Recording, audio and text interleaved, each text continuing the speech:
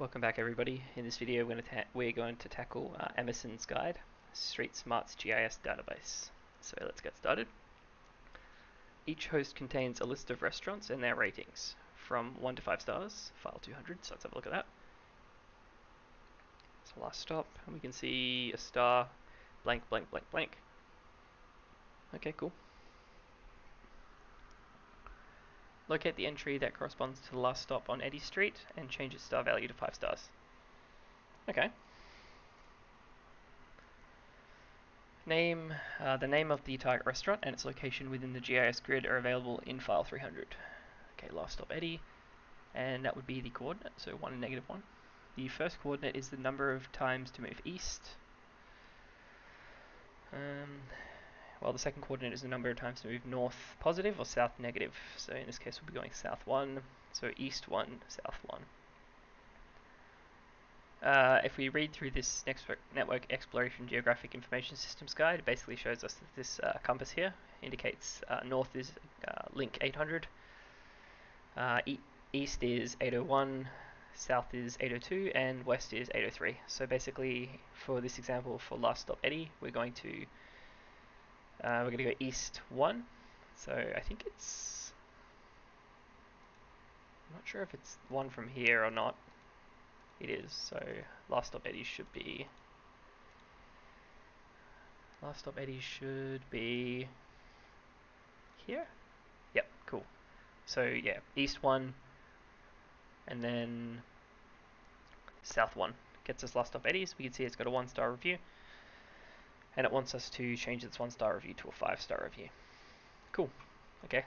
Actually seems like quite a simple one. Um, to start with, we are going to need probably need two X's because we're going to need one to handle passing us the geographic location and one to handle uh, the movement. So in XB, we're going to create grab 300. Uh, what do you got? So maybe we should pass the coordinates first. So we'll do a seek 1, which is going to take us to the first coordinate. I'm going to copy the first coordinate to M, and we're going to copy the second coordinate to M. And then finally, we're going to need the actual name of last stop eddies for when we're referencing it up at the grid because we're going to need it in our register in order to do a seek on it or do a search on it.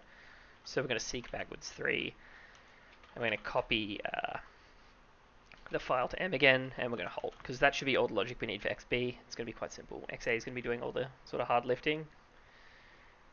Okay, so let's get started by um, copying the first coordinate into our memory and then we're going to link into uh, 800 to drop us onto the grid. Hmm. So, to start with, let's handle east. So we'll go mark east. Um, mark east, and we'll probably need a mark uh, north, mark south, and it's probably all the marks we'll need.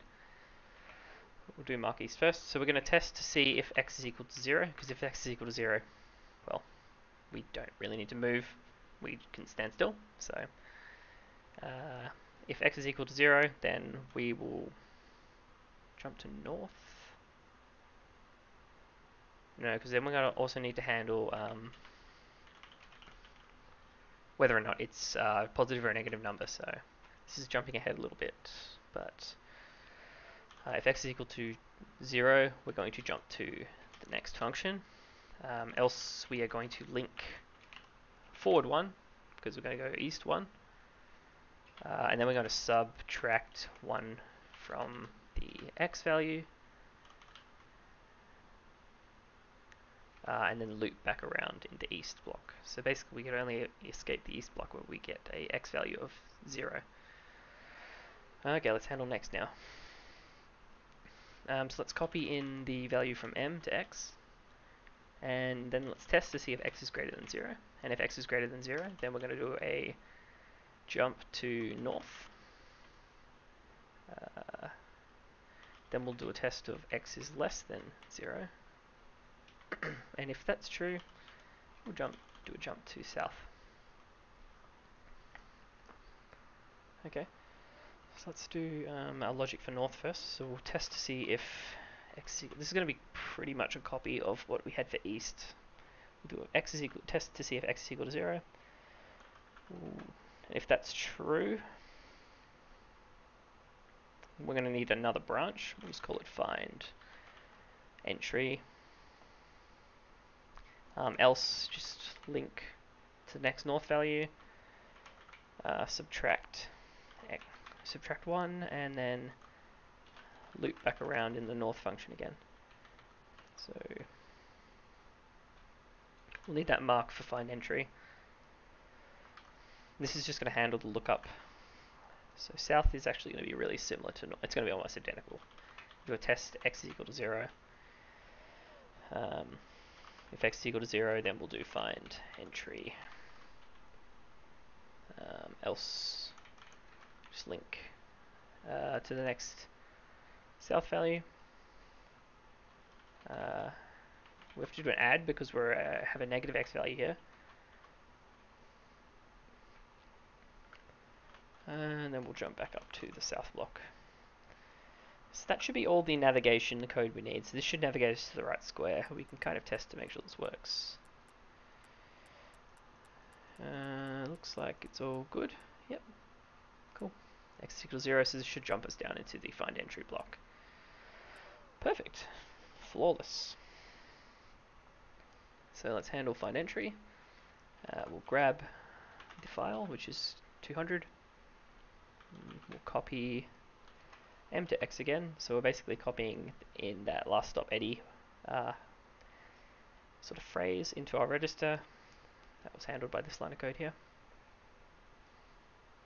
Then we'll mark another loop because we need to scroll through all the entries in these files and find the one we're relevant because we can see there's two reviews here. We only need the second review. So we actually aren't too sure how many reviews could be in each of these files. I'm pretty sure it's it's not always going to be two. It could be one. So let's uh, handle that in our loop. We'll do test f is equal to x. Um, if that's true, uh, we'll jump to another function called append. Else we'll seek forward one, two, three, four, five, because we need to be on the next line. So one, two, three, four, five. So we'll seek forward five. Um, and we'll jump back to our loop if we have not found it yet. And then we'll mark append. And this is just going to be, what is this going to do? We are going to be,